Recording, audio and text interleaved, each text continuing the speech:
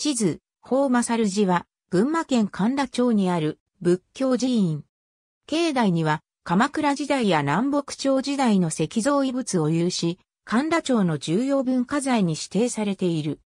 文政年間の資料などによれば、寺のルーツは、校長年間に遡る。取得元年には、田野郡、奥平の奥平氏の勘定により、京都の仁和寺の僧、元を招聘した。この時に寺は、神楽川右岸の奥平へ移り、大道坊地蔵院悲願山、法正寺と号したという。その後、寺は永正年間に中興され、神楽川左岸の現在地へ移転した。資料によれば、田野郡、神田郡一円に13の末寺を有していた。戦国時代に一帯を支配した小畑氏や、戦国時代末期に一帯を授けられた奥平信正は、法正寺を祈願所とした。江戸時代に神田郡に小畑藩が置かれ、織田信長の孫にあたる織田信義が藩主となると、その後の歴代の織田主藩主も、法正寺を祈願所と定め、自社領六国を与えている。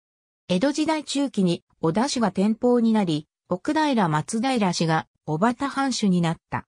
天保後に代目にあたる松平忠福は、完成4年に3号を、歓喜山に改めた。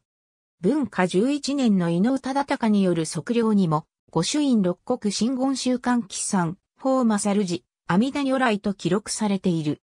寺は、歴代の小畑藩の重臣たちの菩提寺ともなっている。1907年に、新言宗の法常院を併合した。神楽川と三津川の一境内には、寺を創建した、紀藤権森の供養碑があり、その板日には、文永5年の名がある。応永8年の名が刻まれた、法教院ともある。資料によると、遠方元年に火災があり、建物を消失した。この時に、時報類も被害を被ったという。寺に伝わる、法正寺記律書は、神羅町の重要文化財に指定されている。この文書は、小畑藩藩主の松平忠恵の要請により、32代、住職である上皇が表したもので、本寺、松寺や付属施設の歴史をまとめた演技書である。文政3年に藩の自社奉行に提出されており、その写しが現存する。法正寺は、下仁田街道が、神川の支流を渡る地点の北側に位置している。この支流は、三津川という。伝承では、奈良時代の仏装行記による命名というが、法正寺の住職によれば、鉄分を多くが暗湧する川の水が赤く見えることから、この名があるのではないかという。現在の法正寺境内は、三津川に面している。